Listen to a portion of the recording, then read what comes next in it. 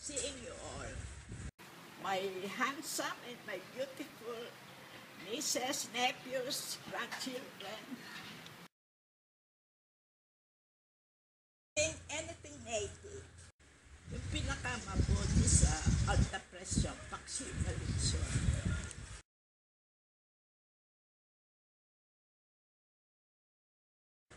I'll be wearing blue. Somebody from Ukay Ukay Incorporated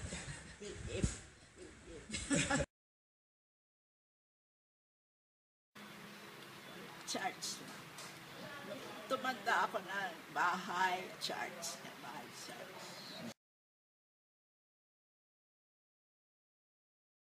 My book, the one launched by Ateneo, a collection of my short stories. I, I avoid reading or watching fiction. Baka makopya ko unconsciously.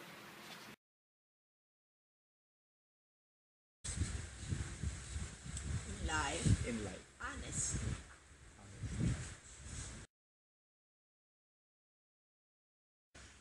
How do you call, call her, Lola Silvia? Dalaga pa siya noon.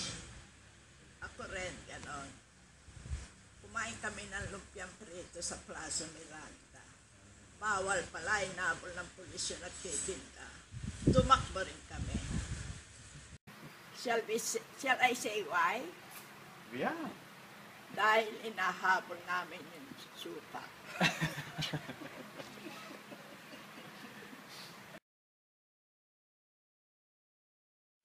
It's a long story.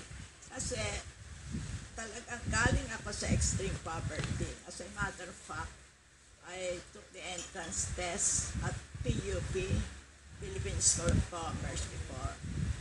Luckily, I was one of the top 10 who passed the exam, but I was not able to enroll. So, you went So, into writing. Wala pa. Parang dream ko, mapasok lang ako sa factory, kumita ng 10 pesos a week.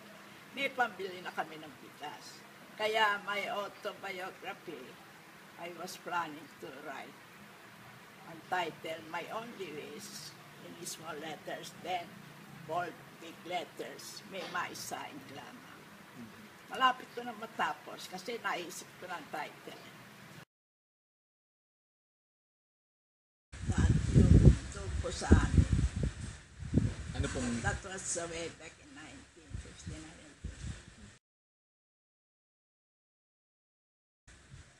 early 20s. Pero may 300 na. Sa prosa, sa pocket book, siguro mga 100 lang. Wala lahat yun eh.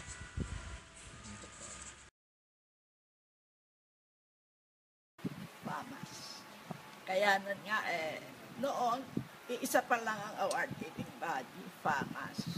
Kaya nung tawagin pangalan ko, kasi before the awards night, nagpunta sa amin to si Butch, uh, Tatay ni Herbert, kaibigan na lolo niya. Nagpunta, sabi, "Oh, hindi ka nagpupunta sa National Press Club, nagpapainom na dun yung mga kalaban mo. Kaya nung awards night, I was not expecting kaya nung ano, napatakbo ko. Hinabol ako ng, kasal na kami, hinabol ako ng lolo ang health niya. Tapos lumilindol nun eh. Kala ko, "Te, hindi nagpanik ang mga tao. I don't know. Siguro gift lang. Kasi nung talagang parang sumama ako sa mga kaibigan ko, nagpupunta kami sa publication pagpunta ron, may dala short story. Nagdadasal ako, sana ma-approve. That time, 20 pesos lang. Tapos, napunta ako sa feature writing. Bigla akong kinuha ng Liwayway Publication. Pagpunta ko ron, tinanong ako kung gusto ko maging assistant ni Aling Cherry for her tahanan at Jamie. That was this time mga men, nagbasa ako na nagbasa for additional knowledge. Sabi na pinapagalitan ako ng uncle Tonyo. Yun know that there is a very thin, very thin boundary line between insanity and being a genius. Ayaw niya nung basa ako ng basa. Eh wala namang paraan, di ako nakatugtog ng college. Yun ang start. Siguro sinwerte na ako. At naniniwala ako sa takda. Ngayon nga may nobela akong tumatakbo sa liwayway.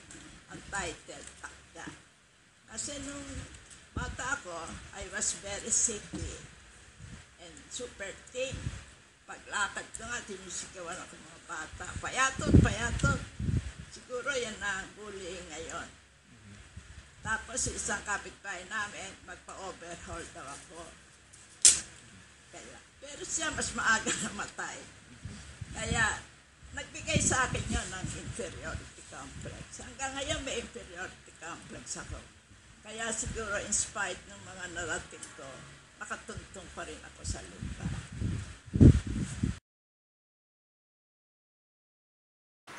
We were eight before. Ayun nga. Tapos, naipit ako ng dalawang patay. Kaya, pwede raw ako manggamot eh. Baka gusto niyo paggamot akin. eh, tapos, yung eldest, yung Claro, at age 20, required siya mag-report sa army. Hindi na siya nakauwi. Noon, naranasan ko rin malungkot na lungkot na lungkot, ng nervyos na nervyos, tuwing makikita ko nanay ko umiiyak dahil hindi na nga nakabalik yung brother ko. Nasabayan pa ng pagtatana ng ate ko.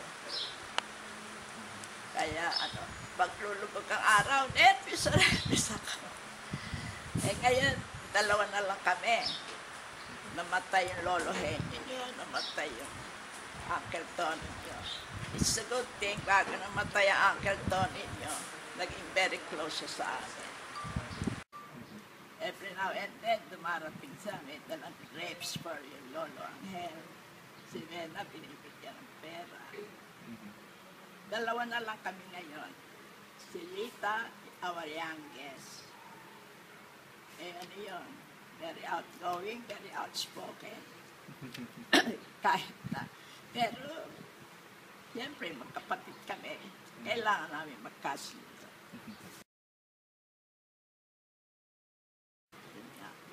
I grew up in poverty.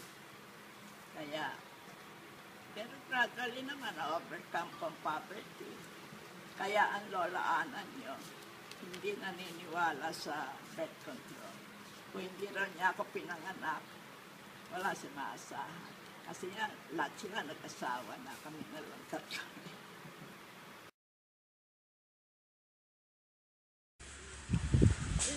Nyo. Kasi pag pinangalalan kami nanay ko, your first boyfriend must be your husband.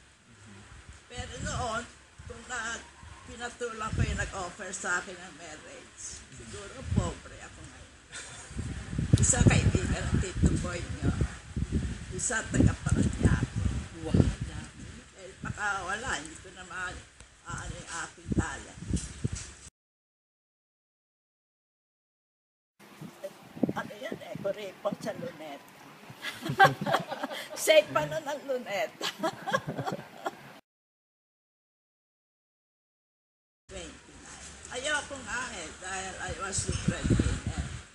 Ang nanay ko, sister ko, nag-asawa na nga yung, yung lolo Henry nyo, yung, to, yung Tonyo. Ako naiwan sa kanila. Ayoko. Pero kinausap ako maski nung mother nung lolo ang help niya. Mga 32. Hindi kami mahilig. Siguro, kaya, ngayon ko na isip, siguro kaya ako pinigyan ng isa lang. Marami pala akong anak. Kayo, mga patron, mga dipusman, marami.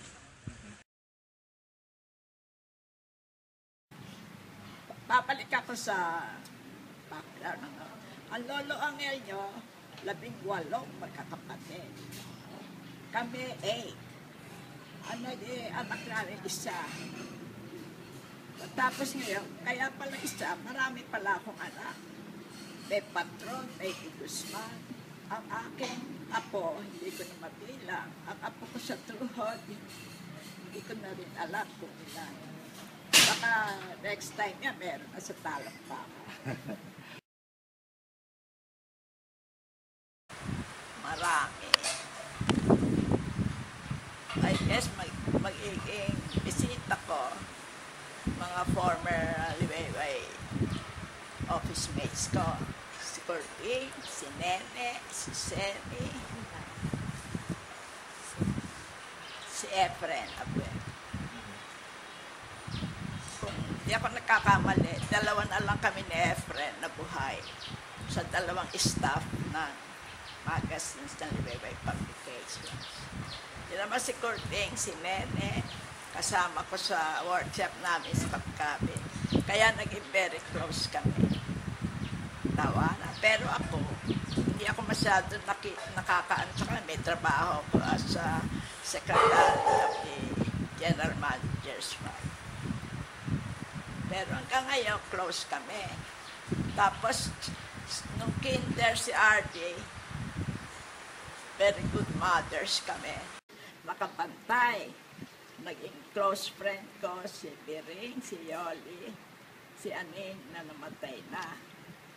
Pagka nasa loob na yung mga anak namin, lilipat kami sa katabi, karihan. Kumakain kami either lumpiang sariwa, lugaw, or pansit palabo. Ganado-ganado kami hanggang one time, lumabas yung anak ng may-ari. Fully book ang balat. Walang pakante. Motik na, motik na lumabas yung aming kinain. yung mga fun memories. My greatest challenge. Siguro yung ano, paano ko maiiwan ng maayos ang mga maiiwan. Considering na I have an only son. Pero ayoko pa sa iwan.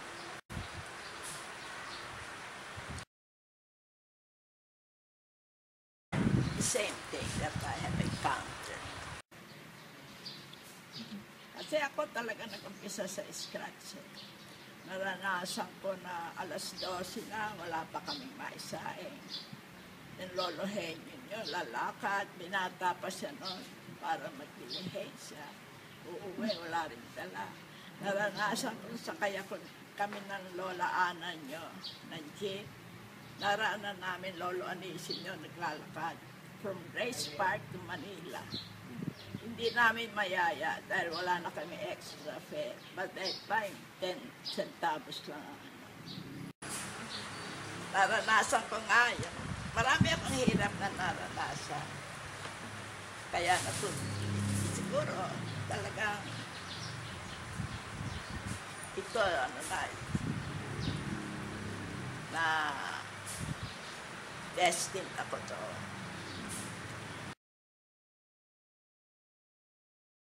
Patient and don't forget the Lord.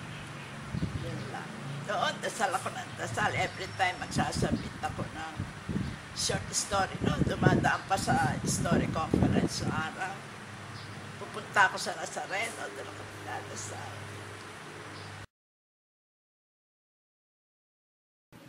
Si Nene, mga kasama ko yan sa Aliwayway.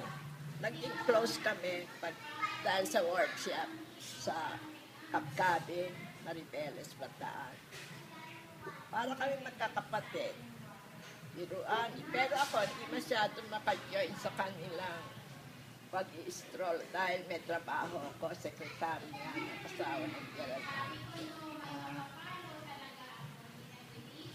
sa, sa former Liwayway staff, kami na lang ni Efren Abreu. Ni Professor Efren Abreu ang natitirang buhay. Patay na lahat. Tapos sa Liwayway ngayon, nagpapasalamat ako kay Ma'am Angie Perez, ang aming editor.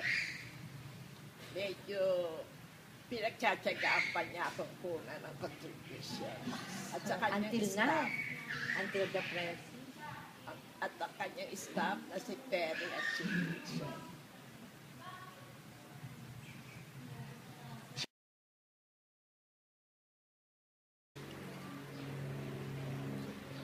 Sana ma maging magtyaga kayo at maniwala tayo sa takda. May novel akong tumatakbo ang title takda. Kasi talagang very sick ako hindi ko akalain abutin ako ng 80 years old. 80 na ako pero may asin pa. Makakuha ko ng tip kay Madam Ori. si Adi, ano, very thoughtful. Tsaka wala kang pakinabang doon pagka chismis. Ayaw. Ayaw niya.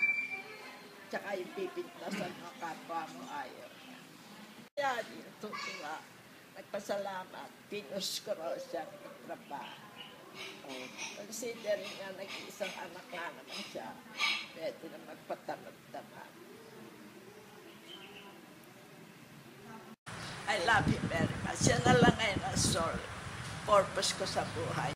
Si Nong naman, very thoughtful pag birthday ko. Di may balikbayan boxes. Eh, alam mo tayo Boxes, mga ha? Pinoy. Basta balikbayan boxes, gusto gusto. Kasi Nong mabait, very understanding. Nasa. Amerika ako. Ano, siya ang nag-encode ng mga ng mga novels ko. Kasi, huwag kayo magtatawa, computer illiterate ako. Kaya handwriting ko siya nag-encode. Tapos, hindi siya nagreklamo dahil mano, mahilig siya manood ng teleserye. Hindi nyo ba i-request kayo nung naapo? Parang ewan ko, God's will. God. eh, sino nga sinabi ko sa kanya, you are the wind beneath uh, these wings. Wow, sweet. Sabi ko, if I rate your role as a wife, a score of 1 to 10, I'll give you a perfect one half. Kasi more, more than one half of my of my worries nawala tungkol kay Al. Dahil kayo no. Oo, ma- maganda pagkakahandle. ah, Wanted May, to be- may binigay sila extended na birthday celebration ko. Ang ganda. Tumawag si Nong. Pinapili ako kung saan gusto ko magpahinga. Sa Tondo, sa Divisoria, o sa Tutuban. Bangkusay na lang. Kaya by August 22 to 24, lalakad kami. To Bangkusay. Ardy, no, I miss you. Pero ilang weeks na lang magkikita na rin naman tayo. Tayo niyo na lang ako dyan.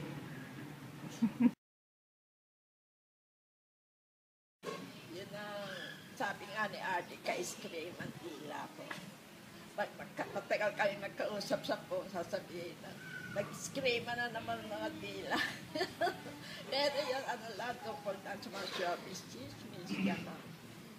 At saka nung time na nasa elementary, primary si Artie, siya makaano sa Don Bosco, babantay. Siya kung la- lahat-lahat, kaaway, kaibigan, kachismisan, Kapatid. all roll, all roll into one. yan si Tita. Oo, siya nga ang nag- si, Ar- si Lita nga ang nagbabantay kay Artie noon. Primary and elementary period ni Artie. Kaya sabi ni Artie, may utang na loob daw sa kanya ang auntie Lita niya. Kasi- Dahil sa pagbabantay niya, nakilala niya si Lita, yung kanya na pangasawa. Nadagdagan ang kapatid ko ng mapangasawa ni Lita si Jenny. Wala namang kuskus balungos yung tao niya. Kahit saan magaling, kahit saan ano, iharap. Pagbata sa kanya. magkasama na sila yung Tito Angel. Ngayon, nagkita na siguro sila ni Angel doon. Tsaka ng puta. At eh, kaso, ang Tito Angel man di umiinom. Masama rin pala sa tao yung straight. Imagine ang Tito Angel mo, apo na, pin, siner mo ng panampare. Nang malamang walang vices, hindi umiinom, hindi nagsusugal, hindi nagbababae, hinarap yung arm. Sus Mariosep Angel, anong ginawa mo sa buhay?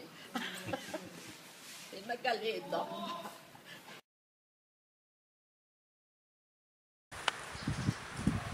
For Artie, Tapos, for art, for art, for art. Siya binata pa, nag-i-scuba diving, nagma-mountaineering. Every second, nagdadasal ako for his sake.